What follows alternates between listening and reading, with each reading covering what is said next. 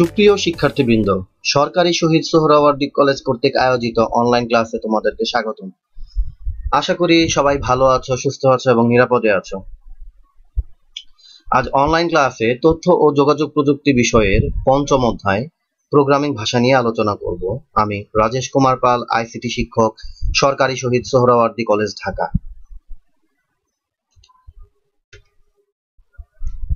তো প্রথমে আমরা প্রোগ্রাম নিয়ে আলোচনা করব। কম্পিউটারে কোনো গাণিতিক বা যুক্তিমূলক সমস্যা সমাধানের জন্য মানুষের পাঠযোগ্য কতিপয় সংকেত এবং নিয়ম কানুন ব্যবহার করে ধারাবাহিকভাবে প্রদানকৃত একসেট কমান্ড বা নির্দেশকে প্রোগ্রাম বলে। অর্থাৎ, একজন কম্পিউটার ব্যবহারকারী বা এন্ড ইউজার যে সকল সংকেত এবং নিয়ম কানুন ব্যবহার করে কম্পিউটারকে ধারাবাহিকভাবে একসেট কমান্ড বা নির্দেশ প্রদান করে, তাকে প্রোগ্রাম বলে। প্রোগ্রামের মাধ্যমে একজন কম্পিউটার ব্যবহারকারী বা এন্ড ইউজার কম্পিউটার মেশিন বা হার্ডওয়্যারের সাথে কমিউনিকেট করে বা যোগাযোগ স্থাপন করে। মানুষ যে সকল ধ্বনি বা ধ্বনি সমষ্টি ব্যবহার করে মনের ভাব প্রকাশ করে বা অন্যের সাথে কথা বলে তাকে ভাষা বলে। তেমনি একজন এন্ড ইউজার যে সকল সংকেত এবং নিয়ম কানুন ব্যবহার করে কম্পিউটারকে নির্দেশ প্রদান করে সে সকল সংকেত এবং নিয়ম কানুনের সমষ্টিকে প্রোগ্রামের ভাষা বা প্রোগ্রামিং ল্যাঙ্গুয়েজ বলে। এটি পিএল নামেও পরিচিত। আমরা যে ভাষায় প্রোগ্রাম রচনা করি, কম্পিউটার কিন্তু সে ভাষা বুঝতে পারে না। আমাদের মতো কম্পিউটারেরও নিজস্ব ভাষা রয়েছে। কম্পিউটারের এই ভাষা হলো বাইনারি ভাষা, যা জিরো এবং ওয়ান ব্যবহার করে তৈরি হয়েছে। এই ভাষা হলো কম্পিউটারের মৌলিক ভাষা। আর এই কম্পিউটারের নিজস্ব বাইনারি ভাষাকেই আমরা মেশিন ভাষা বলি। তাহলে আমরা সহজেই বুঝতে পারছি যে মানুষের ভাষায় রচিত প্রোগ্রাম কম্পিউটার বুঝতে পারে না। তা কম্পিউটারকে অনুবাদ করে বুঝিয়ে দিতে হয়। আর প্রোগ্রামে ব্যবহৃত নির্দেশ সমূহকে সোর্স কোড বা সোর্স প্রোগ্রাম বলে, যা বাংলায় উৎস প্রোগ্রাম নামে পরিচিত। অর্থাৎ, আমরা আমাদের বোধগম্য ভাষায় কম্পিউটারকে যে নির্দেশ প্রদান করি, তাকে সোর্স কোড বা সোর্স প্রোগ্রাম বলে। আমরা অনেকেই দোভাষী শব্দের সাথে পরিচিত। তাদের কাজ কি? তাদের কাজ হলো দুটি ভিন্ন ভাষাভাষী মানুষের মধ্যে মনের ভাব আদান প্রদানে সহায়তা করা অর্থাৎ দোভাষীরা এক দেশের মানুষের ভাষাকে অন্য দেশের ভাষায় অনুবাদ করে দেয়। ঠিক তেমনি সোর্স প্রোগ্রাম বা উৎস প্রোগ্রামকে সিস্টেম সফটওয়্যারে অবস্থিত অনুবাদক প্রোগ্রাম দ্বারা অনুবাদ করে কম্পিউটারের বোধগম্য প্রোগ্রামে রূপান্তর করা হয়। কম্পিউটারের এই বোধগম্য প্রোগ্রামকে অবজেক্ট প্রোগ্রাম বলা হয়, যা বাংলায় বস্তু প্রোগ্রাম নামে পরিচিত। তো আমরা সহজেই বুঝতে পারছি যে এই অবজেক্ট প্রোগ্রামই হলো বাইনারি ভাষায় তৈরি প্রোগ্রাম মেশিন ভাষায় অনুবাদকৃত এই প্রোগ্রাম কম্পিউটার সহজেই বুঝতে পারে এবং প্রদত্ত নির্দেশ অনুসারে কম্পিউটার প্রোগ্রাম নির্বাহ করে। ইংরেজ কবি লর্ড বাইরনের কন্যা অ্যাডা ল্যাবলেসকে কম্পিউটার প্রোগ্রামিং ধারণার প্রবর্তক মনে করা হয়। নিচে আমরা অ্যাডা ল্যাবলেসের ছবি দেখতে পাচ্ছি। তার জীবনকাল দশ ডিসেম্বর আঠারোশো পনেরো সাল থেকে সাতাশ নভেম্বর আঠারোশো সাল পর্যন্ত। প্রিয় শিক্ষার্থী বন্ধুরা, আশা করি তোমরা সবাই প্রোগ্রাম কি এবং কম্পিউটারে কীভাবে প্রোগ্রাম নির্বাহ করা হয় তা বুঝতে পেরেছ। প্রোগ্রাম নিয়ে আলোচনা করার সময় তোমরা প্রোগ্রামের ভাষা সম্বন্ধে ধারণা লাভ করেছ। আমি প্রোগ্রামের ভাষা বা প্রোগ্রামিং ল্যাঙ্গুয়েজ আরেকবার রিপিট করছি। যে সকল সংকেত এবং নিয়ম কানুন ব্যবহার করে কম্পিউটার ব্যবহারকারী বা এন্ড ইউজার কম্পিউটারকে কোনো গাণিতিক বা যুক্তিমূলক সমস্যা সমাধানের জন্য নির্দেশ প্রদান করে, তাকে প্রোগ্রামের ভাষা বলে। প্রোগ্রামিং করার জন্য বিভিন্ন ধরনের প্রোগ্রামিং ল্যাঙ্গুয়েজ রয়েছে। যেমন C C plus plus C sharp visual basic Java Fortran Python ইত্যাদি এরকম আরও অনেক প্রোগ্রামের ভাষা রয়েছে। প্রোগ্রামের ভাষায় বিশেষ কিছু সিনট্যাক্স রয়েছে। এখানে সিনট্যাক্স বলতে লেটার বা বর্ণকে বোঝানো হচ্ছে।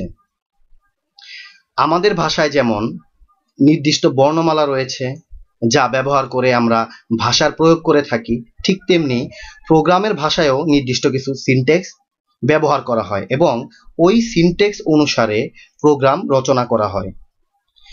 প্রোগ্রামের ভাষা আবিষ্কারের সময়কাল অনুসারে একে পাঁচটি প্রজন্মে ভাগ করা হয়েছে।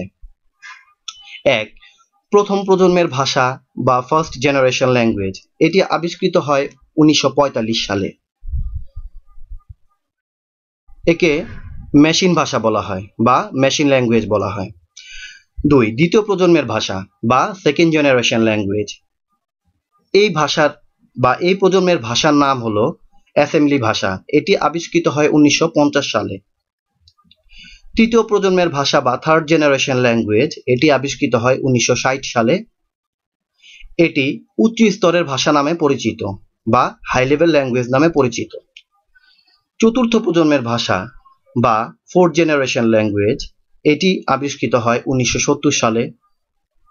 এটি অতি উচ্চ স্তরের ভাষা নামে পরিচিত, যা ইংরেজিতে ভেরি হাই লেভেল ল্যাঙ্গুয়েজ পঞ্চম প্রজন্মের ভাষা বা ফিফথ জেনারেশন ল্যাঙ্গুয়েজ এটি আবিষ্কৃত হয় উনিশশো আশি সালে, যা স্বাভাবিক বা ন্যাচারাল ভাষা বা ইংরেজিতে ন্যাচারাল ল্যাঙ্গুয়েজ নামে পরিচিত। প্রোগ্রাম রচনার বৈশিষ্ট্যের ভিত্তিতে প্রোগ্রামের ভাষাসমূহকে প্রধানত তিন ভাগে ভাগ করা হয়েছে। এক, নিম্ন স্তরের ভাষা বা লো লেভেল ল্যাঙ্গুয়েজ দুই, উচ্চ স্তরের ভাষা বা হাই লেভেল ল্যাঙ্গুয়েজ নিম্ন স্তরের ভাষা কি? কম্পিউটার বা অনুরূপ যন্ত্রগুলো যে ভাষা সরাসরি বুঝতে পারে, সে ভাষাকে নিম্ন স্তরের ভাষা বলে। অর্থাৎ আমরা সহজেই বুঝতে পারছি যে এখানে মেশিন ভাষা বা বাইনারি ভাষার কথা বলা হয়েছে। কারণ একমাত্র বাইনারি ভাষাই কম্পিউটার সরাসরি বুঝতে পারে। এই নিম্ন স্তরের ভাষাকে দুই ভাগে ভাগ করা হয়েছে। এক মেশিন ভাষা বা মেশিন ল্যাঙ্গুয়েজ এবং দুই অ্যাসেম্বলি ভাষা বা অ্যাসেম্বলি ল্যাঙ্গুয়েজ যান্ত্রিক ভাষা বা মেশিন ল্যাঙ্গুয়েজ কম্পিউটার মেশিনের নিজস্ব ভাষাকে মেশিন ভাষা বা নিম্ন স্তরের ভাষা বলে। সাধারণত বাইনারি ভাষার জিরো ও ওয়ান অথবা হেক্সা পদ্ধতি ব্যবহার করে মেশিন ভাষা লেখা হয়। আমরা যে ভাষায় প্রোগ্রাম রচনা করি না কেন, প্রথমে তাকে মেশিন ভাষায় অনুবাদ করে নিতে হবে। আর আমরা জেনেছি যে এই অনুবাদ করার জন্য অনুবাদক প্রোগ্রাম বা ট্রান্সলেটর ব্যবহার করা হয়। মেশিন ভাষার সুবিধা হলো এই ভাষায় লিখিত প্রোগ্রাম অন্যান্য ভাষা হতে দ্রুত নির্বাহ করা হয়। কারণ, এই ভাষায় লিখিত প্রোগ্রাম অনুবাদ করার প্রয়োজন পড়ে না। মেশিন ভাষা ব্যবহার করে কম্পিউটারের অভ্যন্তরীণ স্ট্রাকচার বা সংগঠন সম্পর্কে ধারণা লাভ করা যায়। মেশিন ভাষার অসুবিধা হলো, এই ভাষার প্রোগ্রাম লিখতে অনেক সময় লাগে এবং অত্যন্ত ক্লান্তিকর। কারণ এই প্রোগ্রামের জন্য প্রতিটি নির্দেশ ও মেমোরি অ্যাড্রেসের প্রকৃত অবস্থান সম্পর্কে পরিষ্কার ধারণা থাকতে হয়। তাছাড়া এই ভাষায় লিখিত প্রোগ্রামের ডিবাগ করা বা ভুল ত্রুটি খুঁজে বের করা। এখানে ডিবাগ করাকে বলা হয় ডিবাগিং, অর্থাৎ প্রোগ্রামের ভিতরে যদি কোনো ভুল ত্রুটি থাকে তা খুঁজে বের করে সংশোধন করাকেই বলা হয় ডিবাগিং। এই ডিবাগিং করা বা ডিবাগ করা অত্যন্ত কষ্টকর ব্যাপার। কারণ এই ভাষায় বিট পজিশন খুঁজে বের করা যায় না। অর্থাৎ কোথায় ভুল হয়েছে, কত নম্বর বিটে ভুল হয়েছে তা খুঁজে বের করা যায় না। ম্যানুয়ালি বের করতে হয়। আর ম্যানুয়ালি বের করাটাই অনেক কষ্ট সাধ্য ব্যাপার অর্থাৎ একবার ভুল হলে নতুন করে প্রোগ্রাম লিখতে হয় মানে সেটি ডিলিট করে নতুন করে আবার প্রোগ্রাম লিখতে হয়। এই মেশিন ভাষায় প্রোগ্রাম রচনা করার জন্য অত্যন্ত দক্ষ প্রোগ্রামার প্রয়োজন। মেশিন ল্যাঙ্গুয়েজের একটি বড় অসুবিধা হলো, এই ভাষায় এক কম্পিউটারের জন্য রচিত প্রোগ্রাম অন্য কম্পিউটারে রান করে না। কারণ প্রতিটি কম্পিউটারের মেমোরি অ্যাড্রেস আলাদা আলাদা। তাই মেশিন ভাষায় প্রতিটি কম্পিউটারের জন্য আলাদা আলাদা প্রোগ্রাম রচনা করতে হয়। অ্যাসেম্বলি ভাষা বা অ্যাসেম্বলি ল্যাঙ্গুয়েজ অ্যাসেম্বলি ভাষা হলো মেশিন ভাষার আপডেট ভার্সন যেহেতু আপডেট ভার্সন তো নিশ্চয়ই বুঝতে পারছ যে এই ভাষার কিছু এক্সট্রা ফিচার্স বা অ্যাডভান্টেজ রয়েছে। এই ভাষায় বিভিন্ন সংকেত ব্যবহার করা হয়, তাই এই ভাষাকে সাংকেতিক ভাষাও বলা হয়। এই ভাষায় মেশিন ভাষার মতো বাইনারি বা হেক্সা ভাষা ব্যবহার করে নির্দেশ দেওয়া হয় না। এ ভাষায় সংকেতের সাহায্যে নির্দেশ দিতে হয়। এই সংকেতকে বলা হয় সিম্বলিক কোড বা সাংকেতিক কোড বা নেমোনিক এখানে নেমোনিক বলতে বড় কোনো সংখ্যা বা কথাকে মনে রাখার জন্য যে কোড ব্যবহার করা হয় তাকে বোঝায়। যেমন বাইনারি যে কোড লিখে বা বাইনারিতে যে কোড লিখে আমরা এডিশন বুঝাই তা না লিখে আমরা অ্যাসেম্বলি ভাষায় আমরা অ্যাড লিখব। যেহেতু সংকেত ব্যবহার করে প্রোগ্রাম রচনা করা হয়, তাই এই ভাষায় লিখিত প্রোগ্রাম কম্পিউটার সরাসরি বুঝতে পারে না। বিধায় একে অ্যাসেম্বলার নামক অনুবাদক প্রোগ্রাম বা ট্রান্সলেটর ব্যবহার করে মেশিন ভাষায় অনুবাদ করা হয়।